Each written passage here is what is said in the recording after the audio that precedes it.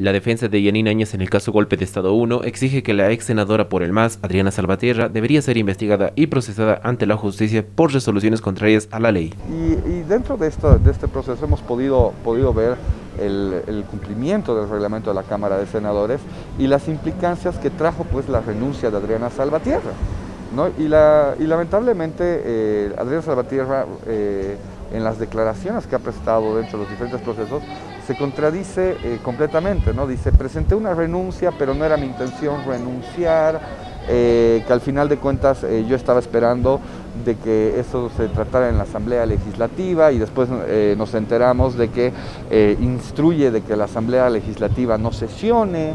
Entonces hay varios elementos que indilgan pues una responsabilidad. Eh, finalmente, eh, si la senadora Adriana Salvatierra no hubiera presentado su renuncia, le hubiera correspondido, ella tenía la obligación de asumir la presidencia del Estado.